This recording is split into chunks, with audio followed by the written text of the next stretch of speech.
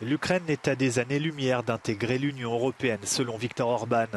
Lors du congrès de son parti, le Fidesz, le Premier ministre hongrois a même annoncé que faire obstacle à l'adhésion de l'Ukraine à l'UE serait l'une des principales priorités de son gouvernement dans les mois à venir.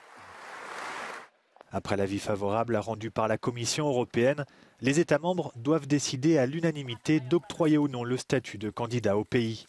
La Hongrie possède donc un puissant droit de veto.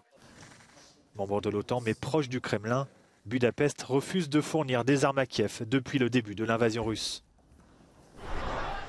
Autre obstacle à l'adhésion de l'Ukraine à l'UE, la corruption qui persiste. Plusieurs affaires ont éclaté ces derniers mois.